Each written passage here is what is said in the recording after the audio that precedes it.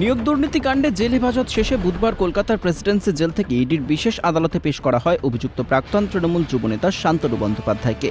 এদিনের শুনানিতে শান্তনুর জন্য ইডির তরফে রিমান্ডের আবেদন করা হয়। শান্তনুর আইনজীবী জানান, কিছু বলার নেই, ইডি তো বেশ ভালোই কাজ করছে।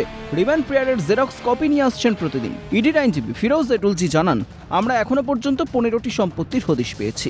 মেসার্স দ্বীপ ডেভেলপার্স অ্যান্ড অর্ডার সাপ্লায়ার্স কোম্পানিতে অভিযুক্তের স্ত্রী কোম্পানির পার্টনার বেনামি সংস্থা মেসার্স লোটাস কনস্ট্রাকশন খোলা হয়েছিল, যার মাধ্যমে কালো টাকা সাদা হতো। এরপর শান্তনুর আইনজীবী রাজেন্দ্র প্রসাদ রায়চৌধুরী জানান, ওনারা অর্ধেক ব্যাপার চেপে যান, স্পষ্ট করে দেন না।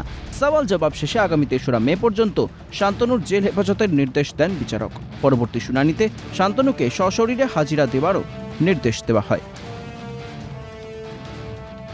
ইডির আইনজীবী ফিরোজ ইদুলজি জানান যে শান্তনু বন্দ্যোপাধ্যায় প্রায় পনেরোটি প্রপার্টির হদিশ পাওয়া গিয়েছে এবং তার মধ্যে মেসার্স ডেভেলপার্স অ্যান্ড সাপ্লায়ার যে কোম্পানিটি রয়েছে, সেখানে শান্তনু বন্দ্যোপাধ্যায়ের স্ত্রী, তার পার্টনার সেই কোম্পানির এবং এর পাশাপাশি আরও একটি বিষয় গুরুত্বপূর্ণ বিষয় উল্লেখ করা যায় যে এম এস লোটাস যে কোম্পানিটি রয়েছে, M S Lotus and construction কোম্পানির সেই কোম্পানির মাধ্যমে বেনামি যে কোম্পানিটি, এই বেনামি কোম্পানিটির মাধ্যমে কালো টাকাকে সাদা করা হতো এমন গুরুত্বপূর্ণ তথ্য উঠে আসে এবং দীর্ঘ শুনানির পর আদালত এই নির্দেশে উপনীত হয় যে আগামী তেসরা মে শান্তনু বন্দ্যোপাধ্যায়ের জেল হেফাজতের নির্দেশ এবং সেদিনকে তাকে সশরীরে হাজিরা দিতে হবে।